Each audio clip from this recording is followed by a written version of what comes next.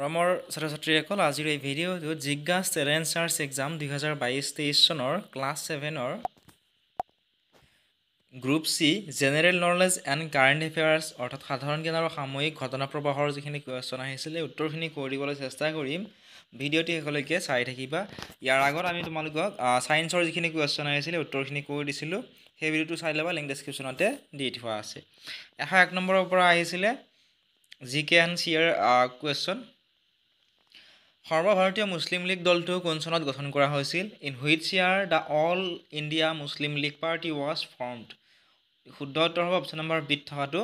ঊনৈছশ ছয় চনত সৰ্বভাৰতীয় মুছলিম লীগ দলটো গঠন কৰা হৈছিলে।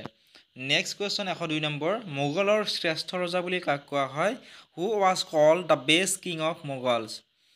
মোগলৰ শ্ৰেষ্ঠ ৰজা বুলি কোৱা হয়? আকবৰক। অপশ্যন বি হ'ব শুদ্ধ উত্তৰ। যদিহে তোমালোকে আমাৰ এই ইউটিউব চেনেলটো ছাবস্ক্ৰাইব কৰা নাই তেনেহ'লে চেনেলটো ছাবস্ক্ৰাইব কৰি ল'বা আৰু কাষতে থকা ঘণ্টা বুটামটো টিপি অল কৰি ল'বা। তেতিয়া মই দিয়া ভিডিঅ'ৰ ন'টিফিকেশ্যন তোমালোকে পোনপ্ৰথমে পাবা। নেক্সট এশ তিনি নম্বৰ কুৱেশ্যন কোনখন দেশৰ সংবিধান আটাইতকৈ দীঘল? Which country has the longest constitution আটাইতকৈ দীঘল সংবিধান হৈছে ভাৰতৰ ইণ্ডিয়াৰ। গতিকে অপশ্যন বিয়ে হ'ব শুদ্ধ উত্তৰ। নেক্সট কুৱেশ্যন সূৰ্যৰ পোহৰৰ কোনটো অংশৰ বাবে আমি গৰম অনুভৱ কৰোঁ? For which part of the sunlight we feel warmth option দিছিলে এ ইনফ্ৰাৰেড অপশ্যন বিত দিছিলে ultraviolet option C microwave option D এটাও নহয়। ইয়াৰ উত্তৰটো তোমালোকে আমাক কমেণ্ট বক্সত জনাবা। নেক্সট এশ পাঁচ নম্বৰ কুৱেশ্যনটো চোৱা প্ৰকৃতিৰ বৃক্ষ বুলি তলৰ গ্ৰন্থক বুজায়? Which of the following is called kidney of the nature প্ৰকৃতিৰ বৃক্ষ বুলি তলৰ জলাশয়ক বুজা যায় ৱাটাৰ ৰিজাৰ্ভাৰ নেক্সট এশ ছয় নম্বৰ কুৱেশ্যন বৰষুণৰ পৰিমাণ জোখা যন্ত্ৰবিধ হ'ল। The measuring instrument of rain is বৰষুণৰ পৰিমাণ জোখা যন্ত্ৰবিধ হৈছে ৰেইন গজ নেক্সট কুৱেশ্যন এশ সাত নম্বৰ উত্তৰ পিঠিত থকা কোচটোত কি জমা থাকে? What is stored in the hump of a camel গতিকে উত্তৰ পিঠিত থকা কোচটোত চৰ্বি বা ফেট জমা হৈ থাকে। নেক্সট কুৱেশ্যন এশ সাত নম্বৰ ভাৰতীয় ৰিজাৰ্ভ বেংক কোন চনত গঠন কৰা হৈছিল? In which year the reserve bank of India was establish ভাৰতীয় ৰিজাৰ্ভ বেংক গঠন কৰা হৈছিলে ঊনৈছশ পঁয়ত্ৰিছ চনত। নেক্সট এখন ন নম্বৰ কুৱেশ্যনটো চোৱা। তলৰ কোনজন ক্ৰিকেট খেলুৱৈয়ে ভাৰত ৰত্ন বঁটা লাভ কৰিছে? Which of the following cricket players wins Bharat Ratna award শুদ্ধ উত্তৰ হ'ব অপশ্যন নম্বৰ চিত থকাটো শচীন তেণ্ডুলকাৰ। শচীন তেণ্ডুলকাৰে তেওঁ ভাৰত ৰত্ন লাভ কৰিছিলে। নেক্সট এশ দহ নম্বৰ কুৱেশ্যনটো চোৱা। সাহিত্য অকাডেমী বঁটা লাভ কৰা প্ৰথম অসমীয়া কোন? Who is the first Assamese literature who wins Sahitya Akademi award Sahitya Akademi Akademi বঁটা লাভ কৰা প্ৰথমগৰাকী অসমীয়া হৈছে যতীন্দ্ৰনাথ দুৱৰা। নেক্সট কুৱেশ্যন শকুনি কোন দেশৰ ৰজা আছিল? Shakuni was the king of which country Shakuni আছিলে গান্ধাৰ দেশৰ ৰজা। অপশ্যন বি হ'ব শুদ্ধ উত্তৰ। নেক্সট এশ বাৰ নম্বৰ কুৱেশ্যনটো চোৱা। মহাত্মা গান্ধীক কোনে জাতিৰ পিতা উপাধি দিছিল? Who gave the title of father of the nation to Mahatma Gandhi? Mahatma গান্ধীক জাতিৰ পিতা বুলি কোৱা হয়। গতিকে তেওঁক এই উপাধিটো দিছিল সুভাষ চন্দ্ৰ বসু। নেতাজী সুভাষ চন্দ্ৰ বসুৱে তেওঁক এই উপাধিটো দিছিলে। নেক্সট এশ তেৰ নম্বৰ কুৱেশ্যনটো চোৱা। কাক ভাৰতীয় সংবিধানৰ সৈনিকৰ আখ্যা দিয়া হয়? Who is call the main architect of Indian constitution শুদ্ধ উত্তৰ হ'ব অপশ্যন নম্বৰ ডিত থকাটো। ভীমৰাও ভীমৰাও আম্বেদকাৰ। ভীমৰাও আম্বেদকাৰক ভাৰতীয় সংবিধানৰ আৰ্কিটেক্ট বা সৈনিকৰ আখ্যা দিয়া হয়। নেক্সট কুৱেশ্যন জাহ্নু বৰুৱাই পৰিচালনা কৰা কোনখন চলচ্চিত্ৰই স্বৰ্ণকমল বঁটা লাভ কৰিছিল? Which film directed by Jahnu Barua have on Swarnakamal award ইয়াৰ তোমালোকে কমেণ্ট বক্সত আমাক জনাবা। অপশ্যন এত দিছিলে অপৰূপা অপশ্যন বি কণিকাৰ ৰামধেনু অপশ্যন চি হালধীয়া চৰাই বাওধান খাই অপশ্যন ডি ভাই ভাই। নেক্সট এশ পোন্ধৰ নম্বৰ কুৱেশ্যন ভাৰতৰ সৰ্বাধিক জনবসতিৰ ঘনত্ব থকা ৰাজ্য হ'ল the highest densly populated state of India is অপশ্যনসমূহ দিছিলে অসম কেৰেলা পশ্চিমবংগ আৰু মহাৰাষ্ট্ৰ। নেক্সট এশ ষোল্ল নম্বৰ কুৱেশ্যনটো চোৱা। গুৱাহাটী বিশ্ববিদ্যালয় কোন চনত স্থাপন কৰা হৈছিল? Guwahati university was set up in the year শুদ্ধ উত্তৰ হ'ব অপশ্যন নম্বৰ বিত থকাটো ঊনৈছশ আঠচল্লিছ চনত গুৱাহাটী বিশ্ববিদ্যালয় স্থাপন কৰা হৈছিলে। নেক্সট এশ সোতৰ নম্বৰ কুৱেশ্যন অসমৰ ইতিহাসত কাক ল'ৰা ৰজা বোলা হয়? ল'ৰা ৰজা in the history of Assamese এই অসমৰ ইতিহাসত ল'ৰা ৰজা বুলি কোৱা হয় চুলিকফাক। অপশ্যন চি হ'ব শুদ্ধ উত্তৰ। নেক্সট এশ ওঠৰ নম্বৰ প্ৰশ্ন ডক্টৰ ভূপেন হাজৰিকাই পৰিচালনা কৰা প্ৰথম অসমীয়া চলচ্চিত্ৰ কোনখন? What is the name of the first Assamese film directed by doctor Bhupen Hazarika? Doctor Bhupen হাজৰিকাই পৰিচালনা কৰা প্ৰথমখন অসমীয়া চলচ্চিত্ৰ হৈছে এৰাপাতৰ সুৰ। অপশ্যন বিটো হ'ব শুদ্ধ উত্তৰ। নেক্সট কুৱেশ্যন এশ ঊনৈছ নম্বৰ। বিশ্বৰ প্ৰথমগৰাকী মহিলা প্ৰধানমন্ত্ৰী কোন? Who is the first women prime minister in of the world গতিকে বিশ্বৰ প্ৰথমগৰাকী মহিলা প্ৰধানমন্ত্ৰী হৈছে চিৰিমাভু বন্দৰনায়ক অপশ্যন ডিটো হ'ব শুদ্ধ উত্তৰ। নেক্সট কুৱেশ্যন অসমীয়া ভাষাৰ প্ৰথম চনেট পুথিখন হ'ল? The first Assamese sonnet book is Asomiya ভাষাৰ প্ৰথমখন চনেট পুথি হৈছে মালচ। অপশ্যন এ হ'ব শুদ্ধ উত্তৰ।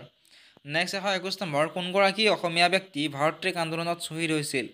Who was the Assamese martyr of the Quit India Movement গতিকে কুইট ইণ্ডিয়া মুভমেণ্ট বা ভাৰত ট্ৰেক আন্দোলনত শ্বহীদ হৈছিলে কুশল কোঁৱৰ। নেক্সট এশ বাইছ নম্বৰ বিশ্বৰ কোনখন দেশে সৰ্বাধিক মৰাপাট উৎপাদন কৰে?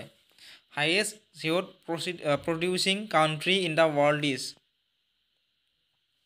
শুদ্ধ উত্তৰ হ'ব অপশ্যন নম্বৰ এইট থকাটো বাংলাদেশ। চৰি ভাৰত। এশ তেইছ নম্বৰ কোনখন দেশ নদী কোনখন নদীক চীনৰ দুখ বুলি কোৱা হয়? Which river is called the sorrow' of China Huanghe নদীক চীনৰ দুখ বুলি কোৱা হয়। অপশ্যন বিটোৱে হ'ব শুদ্ধ উত্তৰ। নেক্সট কুৱেশ্যন এশ চৌব্বিছ নম্বৰ। ভাৰতৰ কোনখন ৰাজ্যত প্ৰথম সূৰ্য উদয় হয়? The sun rises in India in ভাৰতৰ অৰুণাচল প্ৰদেশত প্ৰথম সূৰ্য উদয় হয়। অপশ্যন ডিটো হ'ব শুদ্ধ উত্তৰ। নেক্সট এশ পঁচিছ নম্বৰ। ভাক্ৰা নাংগল বান্ধ কোনখন নদীৰ ওপৰত আছে? Bhakra Nangal dam is constructed on river উত্তৰটো হ'ব অপশ্যন চিত থকাটো শুদ্ধ হ'ব শতদ্ৰু ভাক্ৰা নাংগল বান্ধ শতদ্ৰু নদীৰ ওপৰত আছে। নেক্সট ওৱান এশ ছাব্বিছ নম্বৰ প্ৰশ্নটো চোৱা। ভাৰতৰ আটাইতকৈ জনবহুল ৰাজ্যখন কি? What is the highest populated state of India ভাৰতৰ আটাইতকৈ জনবহুল ৰাজ্যখন হৈছে উত্তৰ প্ৰদেশ অপশ্যন চি হ'ব শুদ্ধ উত্তৰ। নেক্সট কুৱেশ্যন ৰাছিয়াৰ মুদ্ৰাক কি বোলে? What is the name of Russian currency ৰাছিয়াৰ মুদ্ৰাক ৰুবুল বুলি কোৱা হয়। নেক্সট এশ আঠাইছ নম্বৰ তালকাটোৰা ষ্টেডিয়াম ক'ত অৱস্থিত? Talkatora stadium is situated in শুদ্ধ উত্তৰ হ'ব অপশ্যন নম্বৰ চিট থকাটো দিল- দিল্লী। তালকাটোৰা ষ্টেডিয়াম দিল্লীত অৱস্থিত। নেক্সট কুৱেশ্যন এশ ঊনত্ৰিছ নম্বৰ। কিংবদন্তী ক্ৰিকেটাৰ ডন ব্ৰেডমেন কোন দেশৰ? Legendary cricketer Don Bradman is citizen of শুদ্ধ উত্তৰ হ'ব অপশ্যন নম্বৰ চিট থকাটো কিংবদন্তী ক্ৰিকেটাৰ ডন ব্ৰেডমেন অষ্ট্ৰেলিয়াৰ। নেক্সট ইউনেস্কোৰ প্ৰধান কাৰ্যালয় ক'ত আছে সুধিছে? The head office of UNESCO is in ইউনেস্কোৰ যিটো হেড অফিচ বা হেড কোৱাৰ্টাৰ বা প্ৰধান কাৰ্যালয় এইটো আছে পেৰিছত। গতিকে অপশ্যন চিটো হ'ব শুদ্ধ উত্তৰ। নেক্সট কুৱেশ্যন এশ একত্ৰিছ নম্বৰ। জলবিষুৱ তলৰ কোনটো দিৱসত হয়? Autumn equinox is occurred on জলবিষুৱ তলৰ তেইছ ছেপ্টেম্বৰ তাৰিখে হয়। তলত দিয়া অপশ্যনসমূহৰ ভিতৰত। নেক্সট গুপ্ত যুগৰ নৱৰত্নৰ মাজত শ্ৰেষ্ঠ ৰত্ন আছিল। The best ratna of the Navaratna of Gupta rule is. উত্তৰটো হ'ব কালিদাস। নেক্সট কুৱেশ্যনটো চোৱা এশ তেত্ৰিছ নম্বৰ প্ৰাগজ্যোতিষপুৰ ৰাজ্যৰ প্ৰথম ৰজা কোন আছিল? The first king of Pragjyotishpur is. Pragjyotishpur ৰাজ্যৰ প্ৰথম ৰজা আছিলে মহিৰংগ দানৱ। অপশ্যন বি হ'ব শুদ্ধ উত্তৰ।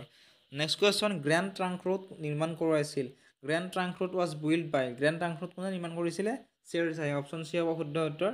নেক্সট কুৱেশ্যন এশ পঁয়ত্ৰিছ নম্বৰ তলৰ কোনবিধত লেক্টিক এচিড পোৱা যায়? Which of the following has lactic acid lactic acid পোৱা যায়? দৈত কাৰ্ড অপশ্যন এ হ'ব শুদ্ধ উত্তৰ। নেক্সট কুৱেশ্যন এশ ছয়ত্ৰিছ নম্বৰ মানুহৰ মেৰুদণ্ডডাল গঠিত হয়। The backbone of compri comprised of the backbone is comprised of মানুহৰ মেৰুদণ্ডডাল তেত্ৰিছডাল হাড়েৰে গঠিত। সাতত্ৰিছ নম্বৰ প্ৰশ্ন ভাৰতৰ বিজ্ঞান জগতৰ শ্ৰেষ্ঠ বঁটাটো কি? What is the best award for science in India option A Khel Ratna বঁটা অপশ্যন বি জ্ঞানপীঠ বঁটা অপশ্যন চি দাদা চাহেব ফাল্কে বঁটা অপশ্যন ডি শান্তিস্বৰূপ ভাটনগৰ বঁটা। ইয়াৰ উত্তৰটো তোমালোকে আমাক কমেণ্ট বক্সত জনাবা। নেক্সট এশ আঠত্ৰিছ নম্বৰ ডিগবৈ তেল শোধনাগাৰ কোন চনত স্থাপন কৰা হৈছিল? In which year Digboi oil refinery was establish Digboi তেল শোধনাগাৰ স্থাপন কৰা হৈছিলে ঊনৈছশ এক চনত। অপশ্যন চি হ'ব শুদ্ধ নেক্সট এশ ঊনচল্লিছ নম্বৰ ভাৰতীয় সংবিধানখন গ্ৰহণ কৰা হৈছিল। The Indian constitution was adopted on option C হ'ব শুদ্ধ উত্তৰ। ঊনৈছশ ঊনপঞ্চাছ চনৰ ছাব্বিছ নৱেম্বৰ তাৰিখে ভাৰতীয় সংবিধানখন গ্ৰহণ কৰা হৈছিলে। এশ চল্লিছ নম্বৰ প্ৰশ্নটো চোৱা। মহাত্মা গান্ধীৰ ৰাজনৈতিক গুৰু আছিল। The political guru of Mahatma Gandhi was Mahatma গান্ধীৰ ৰাজনৈতিক গুৰু আছিলে গোপাল কৃষ্ণ গোখলে। নেক্সট এশ একচল্লিছ নম্বৰ বান্দৰৰ হাত কেইখন how many hands a monkey have বান্দৰৰ হাত দুখন যিহেতু মানুহবিলাকো বান্দৰৰ পৰা সেই ক্ৰম বিৱৰ্তন হৈ হৈছোঁ গতিকে মানুহৰ যেনেকুৱা দুখন হাত বান্দৰৰ ঠিক দুখনে হাত আছে। নেক্সট এশ বিয়াল্লিছ নম্বৰ ফিফা বিশ্বকাপ জয়ী আৰ্জেণ্টিনা কোনখন মহাদেশত অৱস্থিত? In which continent the FIFA world cup winner Argentina is situated FIFA বিশ্বকাপ জয়ী আৰ্জেণ্টিনা দক্ষিণ আফ্ৰিকা ছাউথ আমেৰিকাত অৱস্থিত। নেক্সট এশ তিয়াল্লিছ নম্বৰ ছিকিমৰ আদিম জনগোষ্ঠী হ'ল the ancient tribe of Sikkimese ছিকিমৰ আদিম জনগোষ্ঠী হৈছে লেপচা অপশ্যন ডি হ'ব শুদ্ধ উত্তৰ। নেক্সট ৰাষ্ট্ৰসংঘৰ বৰ্তমান সচিব প্ৰধান এণ্টনিঅ' গুটেৰেছ কোন দেশৰ মানুহ?